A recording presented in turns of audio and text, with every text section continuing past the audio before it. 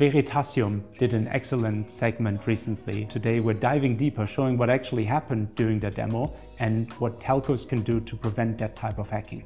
SS7 enables different abuse scenarios, location tracking and intercepting somebody's call or text message. The SS7 hacker has a choice of dozens of different messages that he can somehow stitch together. These issues have been known for a long time. Hi, this is Karsten from Hacking Matters, where each week we look at hacking techniques. Today, we're diving into telco hacking, how to intercept phone calls, read people's SMS, or disrupt networks. Specifically, we look at SS7 hacking, a hacking technique that's been literally around for decades and that still prevails in too many networks. Veritasium did an excellent segment recently and based on popular demand, today we're diving deeper, showing what actually happened during the demo and what telcos can do to prevent that type of hacking. SS7 is a network that spans the globe, like the internet, and that connects different telcos.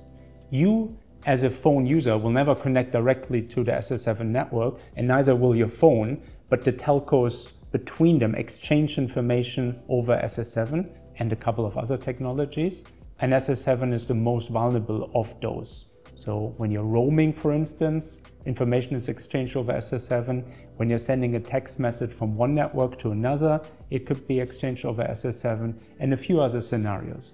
So this is an old network that was introduced with GSM 2G back in the 80s in many countries, but that still prevails today because it's the smallest common denominator of networks. It's basically the technology that works We're all newer standards. Some telcos have them, some telcos don't have them. It's not quite as universal.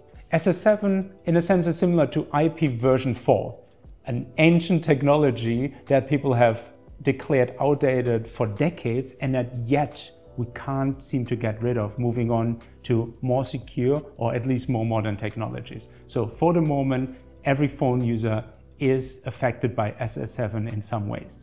SS7 enables different abuse scenarios. We're only going to dive into two today, location tracking and intercepting somebody's call or text message. The others being you can take down parts of networks, you can commit fraud on networks. We're not going to look at those though today, but if you're interested, there is a lot of research, of course, back from 2014, 2015, when these issues were widely publicized and talked about and the insights haven't really changed since then. So going into the first risk scenario, location tracking. Any participant on the SS7 network can send messages to any telco asking for a subscriber's location. The request is called Anytime Interrogation, or short ATI, and that request really just gives somebody's phone number as a parameter and receives back where is that person in the world right now. Fortunately, this specific request is blocked in almost all SS7 networks these days because people have understood that it's virtually only used for abuse. There is no reason to send this message from one network to another. But there's other messages that you can't block quite as easily because they have useful functionality and put together those messages achieve exactly the same. For instance, there's a request called a SRI, which translates a phone number into an IMSI. It's basically the serial number of your SIM card. And then there's another request called the PSI that translates that IMSI into somebody's location. So two step to basically get the same result, going from a phone number to somebody's whereabouts. And then there's a, a, number of other messages that you can use and stitch together to have that location revealing effect. Just like with the anytime interrogation request, telcos of course have the option of blocking those. But the more useful the message is for everyday operations of the network, the more difficult it is to configure the firewalls to get it exactly right. We'll talk about this a little bit later. Let's dive into the second abuse scenario, reading some of these text messages or listening to the phone calls, which is what Veritasium recently showed. Here again, the SS7 hacker has a choice of dozens of different messages that you can somehow stitch together to either be in the middle of a phone conversation or to receive information that wasn't meant for you but for your target. The easiest to execute abuse case is for the SS7 hacker to send to the network saying, your subscriber is here now. I'm a different country, he's roaming in my country. If anyone calls him or sends him a text message, please send it here. I'll get it to the subscriber. And in cases where you want to just listen into a phone call, what you do is you receive the phone call and immediately unregister from the home network so that the home network again feels responsible for the subscriber and then create a second phone call reaching that original subscriber. They are picking up the phone call and you're connecting the one that was forwarded to you to the one you initiated. So the original caller speaks to your target, but you're sitting in the middle. You're hearing everything that they're saying. This again can be prevented at some effort for instance, it's suspicious for somebody to be in this country and then in that country seconds later, but not every network looks at this. Again, we'll, we'll come back to defenses in a little bit. Let's look at the second possibility for intercept, which is the one that Veritasium showed. And this one, somewhat ironically, abuses a security functionality, but in this case, a fraud prevention technology. Phone calls and text messages can be expensive, especially to roaming numbers. So there's a functionality called Camel, like the animal, that over SS7 you can configure what somebody is allowed to call and what they're not allowed to call. The functionality also allows for number rewriting. So if you're trying to call one number, it's instead redirecting you to another number.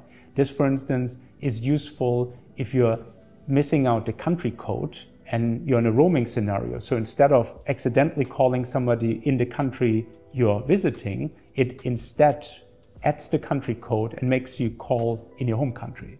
So this overall protocol, the CAMEL protocol, can now be abused by the hacker registering as the CAMEL server, basically saying, whenever this person makes a phone call, ask me first. I'll tell you whom they actually try to call. You can see how, once again, this allows the hacker to sit in the middle of a phone conversation by redirecting all the phone calls to themselves and then initiating second phone calls to the intended called party and connecting those together. So by abusing what was meant as a fraud prevention technology, the hacker can now spy on phone conversations. These issues have been known for a long time and in 2014, 2015 were widely discussed as security researchers like ourselves showed publicly that they're possible. SS7 hacking is still possible in many networks, so you can't help but wonder what can networks do to prevent this kind of abuse? And the simple answer is firewalls. In this case, SS7 firewalls, who are functionally not that different from internet firewalls. In fact, like we said, SS7 is like the internet, a global network where different parties exchange information, but not everyone wants to accept every message from everyone else. Configuring those firewalls is, in the first step, relatively straightforward. We're talking about category 1 SS7 messages that have no right to be exchanged between different networks. So your SS7 firewall can just flat out refuse those messages. That, for instance, prevents the ATI, the easiest way to track somebody's location.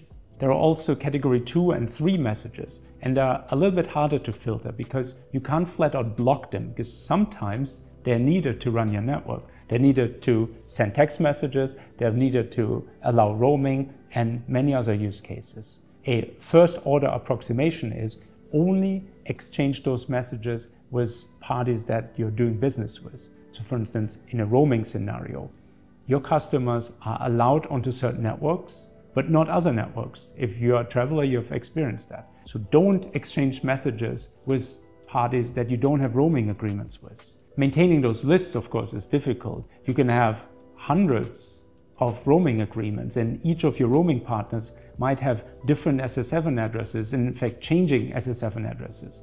So this is as difficult as maintaining a complex internet firewall rule set. And then the category three messages make it even more difficult because they are context dependent. They would, for instance, trigger on things like somebody is in one country one minute and then in another country moments later. Now that's possible if these two countries share a border. It's not possible if they're far away from one another.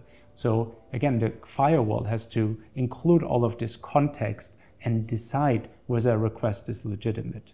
Now, these are the advanced topics in SS7 defense. Even just blocking category one and starting to block category two messages, though, would really move us forward in SS7 security. When the European Union's security agency ENISA asked a few years ago to all the telcos in the European Union, are you doing something about SS7 security? Only about 40% of them had started taking action. This is years after the vulnerabilities had been disclosed publicly and literally decades after the vulnerabilities had been created. Less than half of the networks had started taking action. And I would imagine that the rest of the world doesn't look any better. European networks are no less, possibly even more concerned with customer privacy. And if they don't take action, this is a global problem that needs addressing. My personal opinion on why these issues aren't being addressed is that telcos have little to gain. Their customers are not running away because of SS7 problems. They're not flocking to the most secure networks. We are considering networks more and more just a base infrastructure to exchange information. And as long as it's doing that, we think we're secure with secure messaging apps, with encrypted file exchange. But we forget that the network knows our location and might disclose it to third parties. We forget that we still depend on two-factor authentication through SMS to secure many of our internet properties. So we do rely on networks for the security. We don't choose secure networks with our wallets, thereby creating incentives for telcos to invest into security sufficiently. I've been working with my team on addressing this, but just drop in the ocean. There are hundreds of telcos in the world. We can't work with all of them, but hopefully some of you feel inspired, take action as a customer or as a security professional at a telco. Reach out or comment below if there are any open questions on how to get this done and hopefully we can push the envelope a little bit further.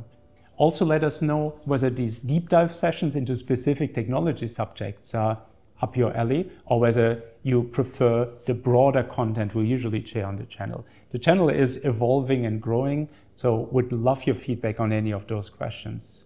Appreciate you being here with us. Um, if you appreciate us equally, show it with a like and subscribe, and we'll see you next week. Happy hacking.